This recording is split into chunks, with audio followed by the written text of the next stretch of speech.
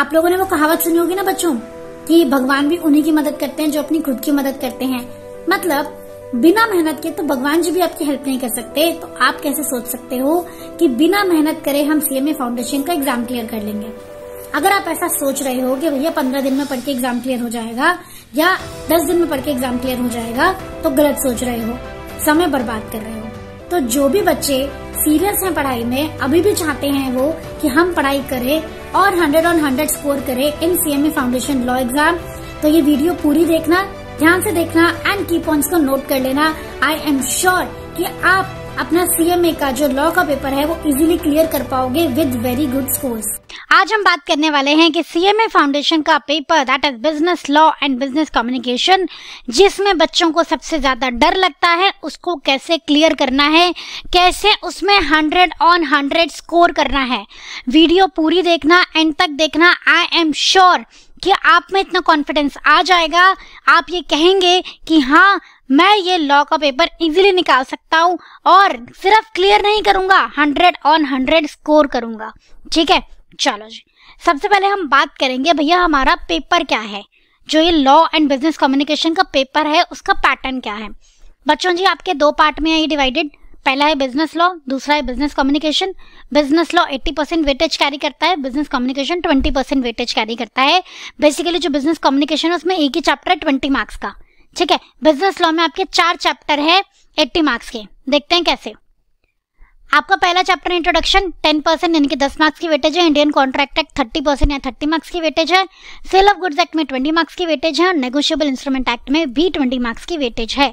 Business communication जैसे मैंने बताया, एक ही चैप्टर है 20 मार्क्स की वेटेज बिल्कुल ही हलवा चैप्टर है, आराम से आप कर लोगे। दिक्कत आती है बच्चों को लॉ में। तो वीडियो में मैं आपको ये बताऊँगी कि आपको लॉ को कैसे तैयार करना है। बिज़नेस कम्युनिकेशन लर्निंग मटेरियल है, चीज़ों को समझो लर्न कर लो जनरल मैटर गिवन है, उसमें दिक्कत होती नहीं है। आप समझो लॉ के पेपर के बारे में। भैया लॉ जैसा सब्जेक्ट पहले सब्जेक्ट को ही समझ लें हम मैम तो लॉ जैसा सब्जेक्ट बहुत टेक्निकल रहता है। टेक्निकल शब्दों का इस्तेमाल होता है यहाँ पे, ठीक है? इसलिए मुश्किल लगता है। दूसरी चीज़, ये सब्जेक्ट ऐसा है जिसमें कॉन्सेप्चुअल क्लैरिटी के बिना काम ही नहीं चलेगा।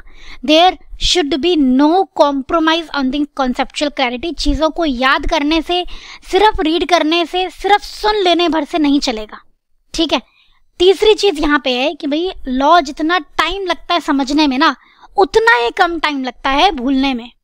तो आपको क्या करना है? रेगुलर रिविजन्स करनी है टाइमली रिविजन करनी है मल्टीपल रिविजन्स करनी है।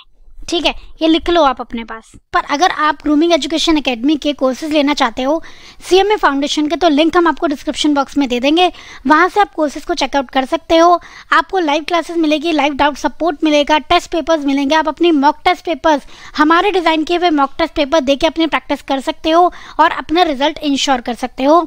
तो जिन भी बच्चों को हमारे कोर्सेज चेकआउट करने हैं लिंक बेटा डिस्क्रिप्शन बॉक्स में अवेलेबल है। उसके बाद आपको क्या करना है? आपको भैया अगर आप लॉ का पेपर निकालना चाहते हो ठीक है वो भी अच्छे स्कोर से तो खाली कोचिंग लेके खाली वीडियो सुनने से कुछ नहीं होगा।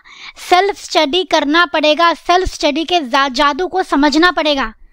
अगर आपने इसकी इंपॉर्टेंस समझ ली ना देखो सिर्फ़ ये तो सीएमए फाउंडेशन है आप लाइफ में कोई भी प्रोफेशनल एग्ज़ाम दो उसको क्लियर कर पाओगे। ये मैं लिख के देती हूँ। अगर आपने सेल्फ स्टडी को आज से अपना लिया तो बच्चे क्या करते हैं? आज के टाइम में वीडियो सुन ली, वो भी टू एक्स की स्पीड पे काम हो गया, समझ आ गया। कल देखेंगे। नहीं चलता बच्चे, ऐसे लॉ में। आप एक बार पढ़ के देखना, आप एक पेज पढ़ के देखो, फिर पता लगेगा आपको। तो क्या करना है? सेल्फ स्टडी करनी है। खुद से पढ़ना है, खुद से टाइम डिवोट करना है बुक खोलनी है क्वेश्चन सॉल्व करने हैं प्रैक्टिस करनी है। जब तक ये नहीं करोगे, तब तक नहीं हो सकता पेपर क्लियर ये लिखवा लो मेरे से। क्या करना है आपको? आपको सेल्फ स्टडी करनी है। कैसे करनी है, वो भी एक ट्रिक होती है, ठीक है? आ जाओ। आपको लॉ के लिए बेसिकली मैं बताना चाहती हूँ। पहली बात तो हंड्रेड परसेंट कंटेंट कवर करना है नो सेलेक्टिव स्टडी क्योंकि आपका टारगेट क्या है? हंड्रेड ऑन हंड्रेड तो अपने टारगेट के हिसाब से आपको पढ़ाई करनी है। सिर्फ़ पास होने के लिए आप वीडियो नहीं देख रहे हो। डन तो आपको हंड्रेड परसेंट कंटेंट कवर करना है।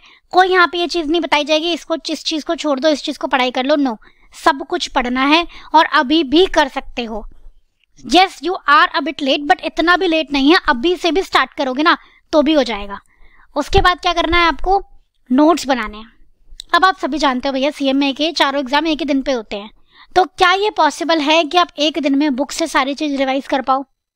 नहीं मैम तो नोट्स बनाने हैं अभी से, ताकि बाद में दिक्कत ना हो। पता है, देखो, मेरा एक फंडा है। कि जब आप छह महीने की तैयारी कर रहे हो या तीन महीने की तैयारी कर रहे हो ना तो आप उसे एक दिन के लिए तैयारी कर रहे हो जो एग्ज़ाम से एक दिन पहले होता है। आप एग्ज़ाम वाले डे के लिए तैयारी नहीं कर रहे होते हो। आप ये समझो, आप एग्ज़ाम से एक दिन पहले वाला जो दिन होता है ना, उसके लिए तैयारी कर रहे होते हो। इतनी मेहनत जो हम करते हैं नोट्स बनाते हैं हाइलाइटर लगाते हैं अंडरलाइन करते हैं चीज़ों को कीवर्ड्स लिखते हैं की पॉइंट्स लिखते हैं स्टार बनाते हैं, क्यों बनाते हैं? एग्ज़ाम में स्टार बना के आना है? नहीं. एग्ज़ाम से एक दिन पहले मुझे क्या पढ़ना है, वो मुझे क्लियर हो इसीलिए. तो आपको नोट्स बनाने हैं. अगर आपने नोट्स नहीं बनाए तो भैया एक दिन पहले रिवाइज नहीं कर पाओगे सब कुछ. और अगर एक दिन पहले रिवाइज नहीं कर पाए, फिर भूल जाओ चीज़ों को. ठीक? उसके बाद आपको क्या करना है? लिख लिख के उन पॉइंट्स को याद करना है. प्लीज़ ये मेरी बात मान लो इसको, लिख लो, इस बात को भी लिख लो इनफैक्ट लिख लिख के पॉइंट्स को याद करना है, वरना हो जानी है गड़बड़। क्योंकि लॉ में जो वर्ड्स है ना, उनका मीनिंग ही समझ में नहीं आता बच्चों को। और एमसीक्यूज में जब क्वेश्चन में वो वर्ड लिखा होता है ना, एक वर्ड कीवर्ड उसी पर डिपेंड करता आंसर क्या होगा। अगर आपको ये कीवर्ड का मतलब नहीं समझा तो आप आंसर सॉल्व कर ही नहीं पाओगे। चारों आंसर आपको करेक्ट ही लगेंगे। तो ये बात मेरी नोट डाउन कर लेना भैया। लिख लिख के अगर आपने नहीं किया ना, चीज़ों को लर्न मतलब पॉइंटर्स को लिख लिख के लर्न नहीं किया तो भैया एमसीक्यू सॉल्व नहीं होने वाले हैं आपसे। ठीक है?